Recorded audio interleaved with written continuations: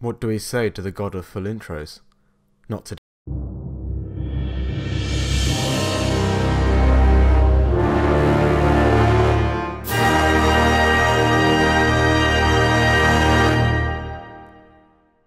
There's been some very unfortunate news to start off this week, as a study by researchers from the British Antarctic Survey have looked at detailed satellite imagery to find that the Halley Bay colony of emperor penguins in the Weddell Sea has undergone three years of complete breeding failure.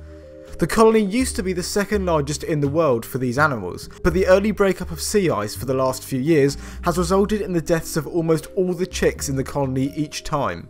The first breakup of ice has been associated with a very stormy period in 2015, corresponding to a particularly strong El Nino event. However, another colony 55 kilometres to the south has been increasing in numbers, likely due to penguins immigrating from the collapsing colony.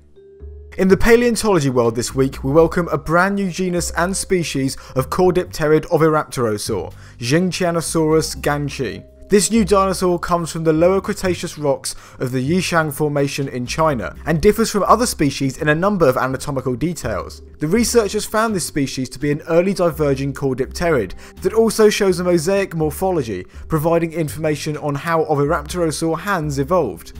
Thanks to the dinosaur guy on Discord for bringing this one to our attention. Going a bit forward in time now, a study published in the journal Nature has revealed that scientists have found evidence that Homo sapiens are not the only human species to have been able to survive at the extreme levels of high mountains. The first Denisovan fossil to be found outside the Denisova cave in Siberia was uncovered in the Baishiya cave on a Tibetan mountain. The fossil was the mandible, or lower jaw, of a Denisovan and was discovered in 1980 and has just now been examined. It has long been a mystery why the Denisovan fossils from Denisova Cave contained a gene that helps stop oxygen deficiency at high altitudes, but now we know why. This same gene is also found in the populations of Tibet and some neighbouring countries, suggesting that modern humans gained this gene from mating with Denisovans and it being passed on. There are more Cretaceous discoveries next, as an exceptionally well preserved crab from the mid Cretaceous of Colombia and the US has been described.